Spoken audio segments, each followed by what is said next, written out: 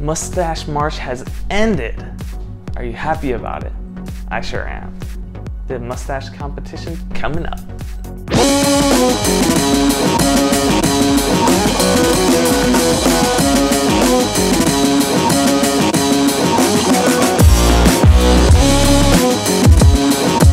What's up everyone? I bet you're wondering why I have been growing this mustache. Well, today we're gonna be doing a competition. What fish has the best mustache? And I know they don't have mustaches, but it's gonna be the best barbelled fish, I guess. And yes, I am in the competition as well against these fish, so feel free to judge me. Alright, well I didn't do a ton of research before this video, so I'm just going off the top of my head of my favorite barbelled fishes. So, coming in at number one is gonna be the clown loach. The clown loach barely has a mustache, but it's still good enough. The clown loach is a schooling fish. It's a, it gets pretty big, it's a bottom dweller, and it brings tons of color to your aquarium. And you can also add it to an African cichlid aquarium, which a lot of people do, and it's a great addition for that. Is this thing... I'm shaving this tomorrow. That's why I'm making this video, just so you guys know. I cannot wait to shave it. It's so irritating. I'm starting to get pimples in here. Ugh, I just, I can't do it. Can't do it anymore. Anyways, probably my favorite fish with a mustache, and that's gonna be the koi.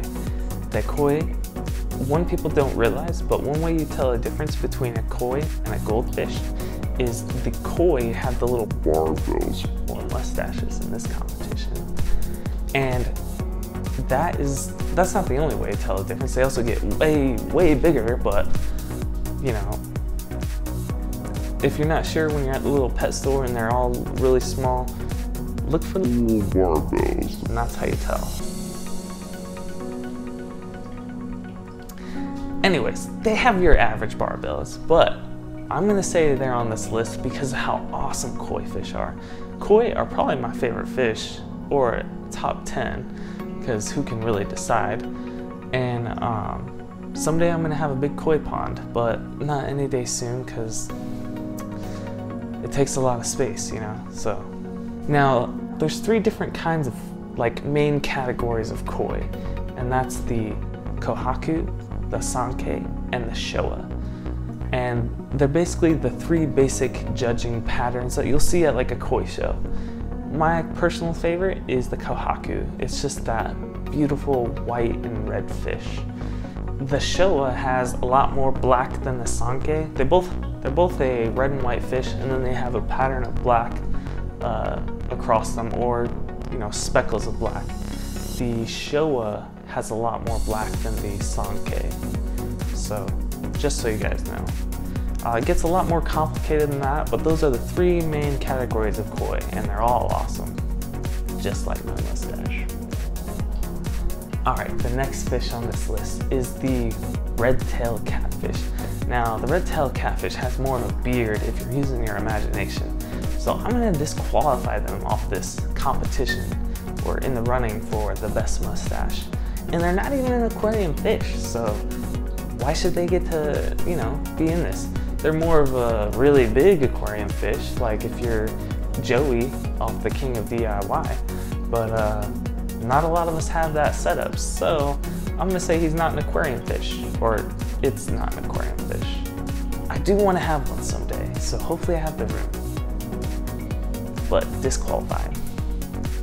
The next fish on this list is a Colonel Sanders of a fish. And when I'm talking about Colonel Sanders, I mean by the uh, little soul patch he has. And uh, we're gonna say the arowana. The arowana makes this list because of Colonel Sanders, purely. I know they don't really have the barbel mustache or a mustache at all, but the little barbels make them on this list because they're such an awesome fish.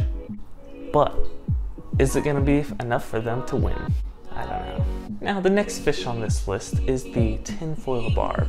Let me get closer so my mustache is in the video. Now the next fish in this video is gonna be the tinfoil barb. Alright, I'm just kidding. I'll back up.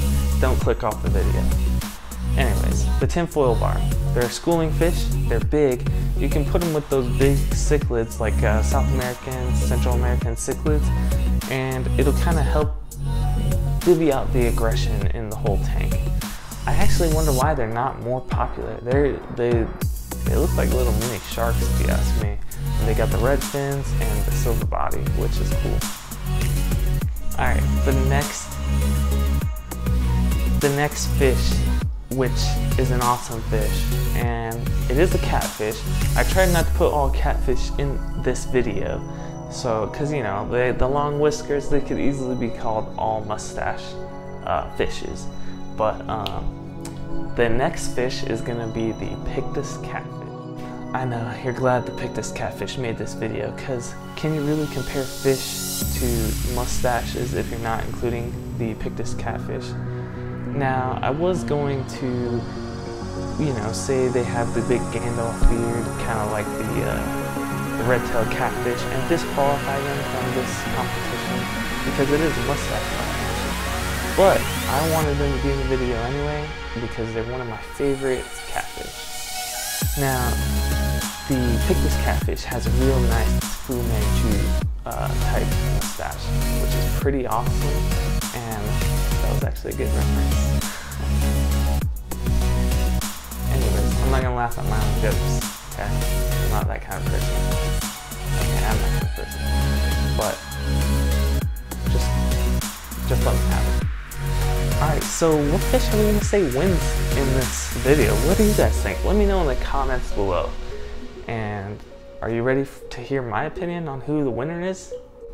Drum roll, please. And the winner is me. I'm the winner of the competition. Yeah, that's right. I made the video. I get to choose who wins. Now, I actually really grew this mustache out for a work competition, but I'm pretty sure I'm gonna lose because I don't have the worst mustache and I don't have the best. So I decided to make a video and give the award to me. I know, it's really petty, but look, it was an easy video to make and it was fun. So I'm just gonna give you guys some good views of my mustache. You see that? It's awesome.